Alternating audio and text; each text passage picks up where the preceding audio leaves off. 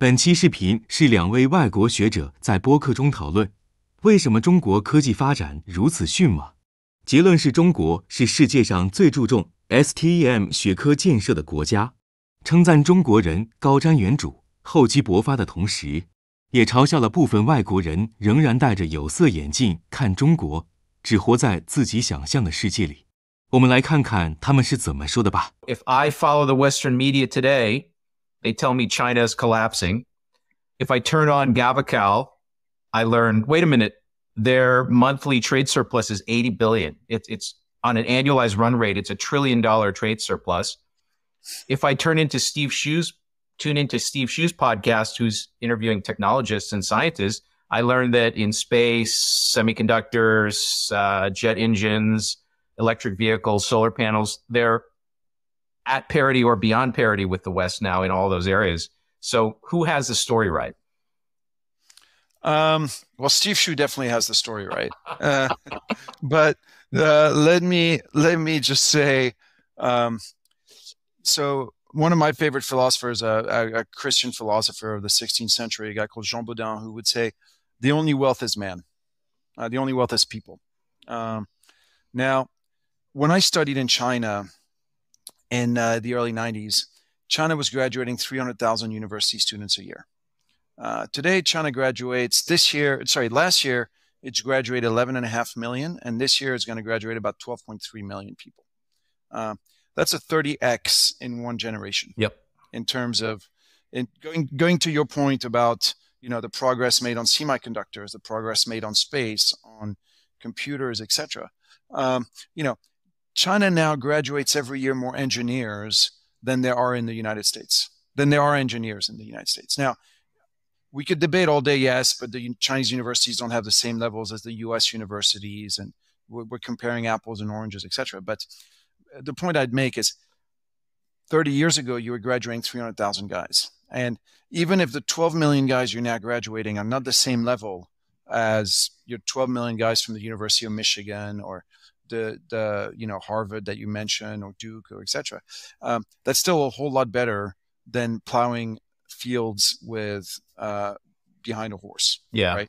You know, so so the sorry. Uh, sorry, I, I was going to say I've been a professor for, for 30 years, and so I've seen the whole arc of what you describe. Where at the beginning, if you wanted to get a world class science education, at least at the graduate level, you had to leave China and come out here. There were no world class research labs in China. Fast forward to today, there are many Chinese universities with top flight departments across the board in STEM subjects. And about twice the fraction of kids of that 11 million that you described, the percentage that are doing STEM is twice as high as in the United States. So overall, you just get this enormous tidal wave of human capital that's feeding into their system. And their, their K through 12 grads are pretty good.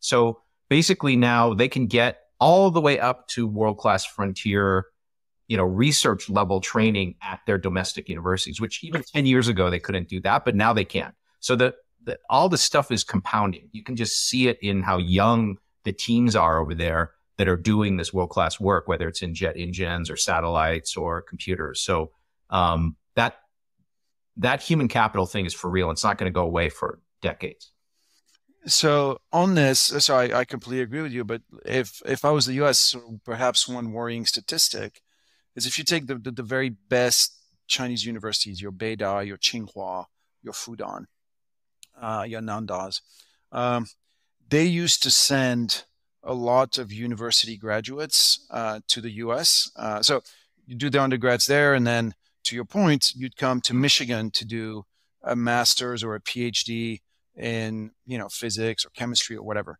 Um, those numbers have been in free fall. Uh, now, initially, you thought, okay, it's COVID. You know, like nobody's moving. It's hard to to, to get out of the country, etc. But even post COVID, there's been no rebound.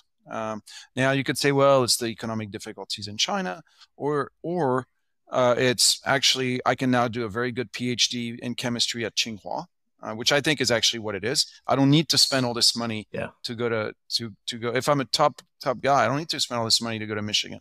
I can go to Tsinghua. You know, um, you know, Louis, you yeah, you went through the pain of having to learn Mandarin, right? So imagine how painful it would have been for you at 22 to say, "Oh my God, the only place I can do my PhD in material science is at Tsinghua, and now I got to be fully fluent. I got to read all my textbooks in Mandarin. I Yes. talk, I got to network with my job recruiter in Mandarin. I got to do everything in Mandarin." There are plenty of people in China that are great scientists, but their English isn't that great. So why would they come here, right? It's such a burden for them to come here that they can, if there is an ecosystem for them to develop their skills and to practice what they learned in school in China, they're obviously going to favor that once once the system is mature. So and and so I think to your point, I think we're we've reached that point in China now, um, and I think that that's a change that we perhaps underestimate. We in the Western world underestimate because we just take it for granted that we have the best universities in the world, uh, and that of course if you're smart, you want to go to go to Harvard, and of course once you're in Harvard, you're never going to move back to China because why would you? Yep. Um, and and that would because in fairness that was always the case for 100 years or for or at least the post World War II environment, that was the case. And I don't know if it still is. I don't know if it's still the case in the, the past I think five, it's I think it's it's just tipping now. So and and and obviously for the bulk of students who aren't necessarily they don't necessarily have the choice of going to Stanford or Tsinghua, but it's some other good Chinese university and then some other you know reasonably good U.S. university. I think more they're much more likely to stay in China now than they certainly than they were even a few years ago. I think China's in a in a transition phase, and like you know, I he's been very vocal about you know wanting to obviously push technology really hard. We talked about all this the kids moving into STEM, etc. Um, about how wealth creation has to come from um, for, you know beefing up tech, beefing up industry, beefing up manufacturing, beefing up China's exports, um, and in the past five years, China's done remarkably well in that space, actually. Um, when you think of it, China's had to endure uh, a couple things. Well, it's had to endure a real estate bust. It's had to endure a yen at 150. You know, J- Japan Japan is one of the biggest industrial powerhouses in Yep. the world, Yep. and it's got it's got a currency that is just stupidly, stupidly undervalued. You know, I was I was in Japan a few months ago. Um, you go. It used to be that if you wanted to go out for dinner in Tokyo, you had to get a second mortgage on your house. It was like so expensive. Uh, now Tokyo is the most the, the cheapest. Yeah, it's like a developing country. It's the cheap. I mean, you go for lunch in Tokyo, like a really nice lunch. It's going to cost you fifteen bucks. I think Um, I think quality adjusted the the you know eating out dining out in say Tokyo or anywhere in Japan is like got to be the best deal in the world right now because you have the, the highest quality no levels and the prices are way down because of the yen. At least if you're an American, No, it's uh, no doubt about it. Yeah. No doubt about it. No doubt about it. Look, I think you wanted to say that the the manufacturers and high tech companies in China are competing against a very weak yen, yet they're Yeah. taking market share, uh, have huge trade surpluses, and so it's obviously exactly. for anybody else to try to compete with Japan is is extremely hard, and the fact that they can do it tells you something, right? Exactly. Uh, so when you think of it, they've had to deal with a super cheap yen, um, uh, the real estate bust we mentioned, and on top of that, the American um, um, War. uh, restrictions on semi. Well, yeah, war, War. for any would like, but semi, you know, semiconductor restrictions and and and whatever else. And with that, from nowhere five years ago, China's become the biggest car exporter in the world. Like, if you had told me the yen would be at 150, I would say every car in the world is going to be produced in Japan. Yep. But we're moving into a world where every car in the world is going to be produced in China. Yep. Because not only are they good at producing cheap internal combustion engine cars, but they've basically at this point they've cornered the electric car v- market. Um, and, and Europe is is waking up to this because Europe was saying, oh, you know, by 2030 we want every new car sold to be to be electric, and they're realizing, hold on, if we do that, that means that we want every new car sold to be Chinese, um, and you know, which you know creates issues. Um, so, but beyond electric cars, you got railways, you got power plants, turbines. I mean, you name it. You know, five years ago, you mentioned that China's trade surplus has gone from 25 billion a month to 75 or 80 billion a month. Uh, and again, that's not because you and I decided to buy three times as many pairs of socks or three times as many, you know, plastic toys. Yep. Um, you know, in the past five years, China started exporting a bunch of stuff they never exported before. Um, you know, right now China's in negotiations with Saudi Arabia to sell Saudi Arabia nuclear power plants. Now, as a Frenchman, I look at this and I wonder what the hell just happened here. Like selling nuclear power plants is our, our business. You know, that's what that's what we do in France. That's like one of our key comparative advantages. And China comes in and undercuts us by two thirds.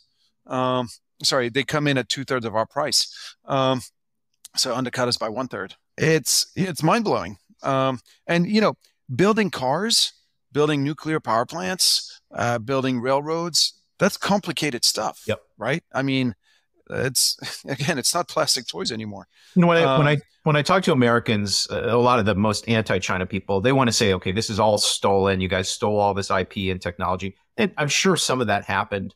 But even if you stole stuff without a very powerful human capital and tech infrastructure basis, you're not going to be able to compete across all these different industries going forward. If, if all they did was steal and you stop them from stealing, you're going to get back ahead of them. But it looks the other way. It looks like they're getting ahead of us now. So, um, very okay, different so what, from how it's did, perceived here. All right. So, go, I hate the stealing of IP argument, to be honest. Uh, I, I uh, it's sort of one of my bugbears. I always say, okay, look, China's become the biggest EV producer in the world. Like, what did they steal from whom? Yeah, exactly. Uh, like, uh, you know. Yeah, Tesla uh, buys their batteries from them, right? So.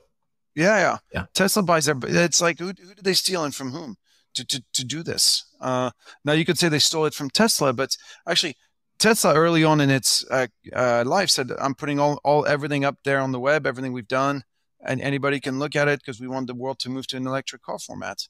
Um, like, you know, who did who did they steal to do this? Um, you know, nuclear power plant. They build their own nuclear program from from scratch. Like this is, you know, everybody have. It's really hard to steal nuclear stuff because of all the national security around it, etc. So, like, if if we want to say China stole the nuclear secrets, um, then that means that we've got some serious espion like espionage leaks yeah. going on in our own countries. I, uh, to be honest, when I talk to people like that, I don't even want to fight that battle. I'll just say, look, let, let's let, let's suppose they stole everything, but they have very competent people making use of what they stole, and going forward, just crying about it is not going to solve your problem because they're innovating new stuff, as with EVs, as you pointed out, right? So, or or lidar but or something. It, yeah, and it goes back to what we were saying a little while ago. It's like, look, if China produces more engineers every year than there are engineers in the U.S.,